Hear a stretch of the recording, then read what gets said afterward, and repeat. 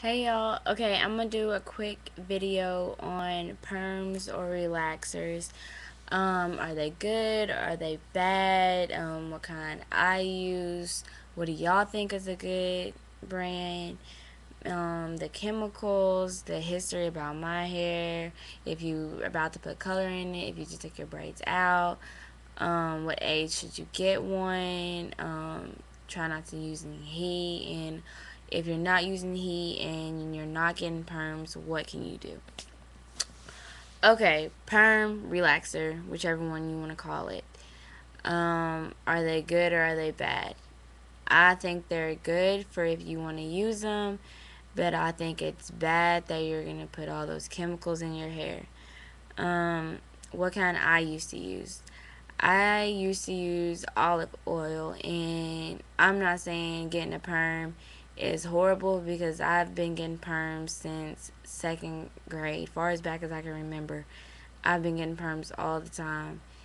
And, you know, I feel that I'm older now and, you know, I'm just coming to realize like my hair just does not need perming or a relaxer to it. I feel that my hair, you know, is still straight without me having to put a perm in it and I feel like my hair has grown a lot more since I haven't been putting perms in it. I looked at my perm and I've grown about that much since I haven't gotten one. And it's been about three months, about three or four months since I had and it's grown that much.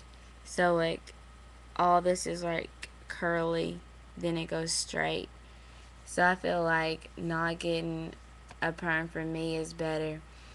And then if you have, you know, highlights in your hair or you're wanting to get highlights and then you also still get perms, I feel like that's a bad combination.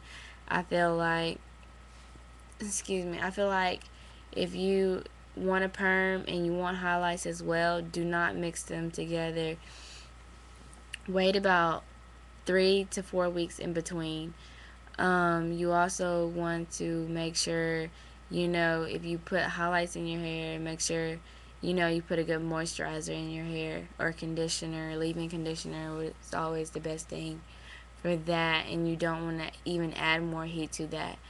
So another good thing is if you're not getting a perm, then you want to use bobby pins and pin curl your hair or use rollers and sleep in them or you might just want to wrap your hair like I did. I used rollers at the top and I just wrapped the rest of it and I'm going to show you in a couple videos after this um, how to pin curl your hair by that's just using bobby pins and rolling it with bobby pins and um, how to do a Boston wrap and that's just wrapping it partly and then having the top with big curls. So that's another couple videos that I want to show y'all. And I feel like, you know, if you need a perm, then go for it. But, you know, like when it comes to textures of hair, who is to judge what hair texture you should have or what texture, you know, looks good on you? I just feel like, you know, if you can go without a perm, I feel that's better now. I used to get a perm every two months. The type of perm kit that I had was olive oil. Um, that relaxer was good for me.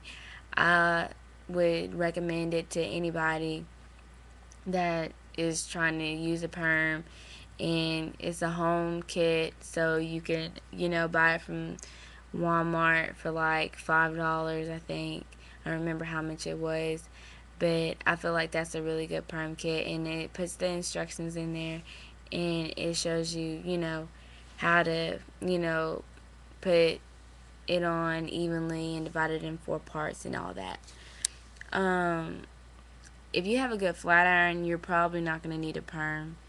It might take longer to straighten, but if you just set aside, okay, every Friday because I know I'm going to go out. I'm going to straighten my hair. Then from Friday till that all the week around, maybe Thursday night or Friday morning you'll straighten your hair again but try not to put heat that's my goal for you is try not to put heat to your hair because it'll also make it healthier so use it once a week once a week and you know the best trick for me to not use my flat iron is to put it in a drawer or you know so I can't see it. So I know every night before I go to bed I wrap my hair like this and I won't use heat to it.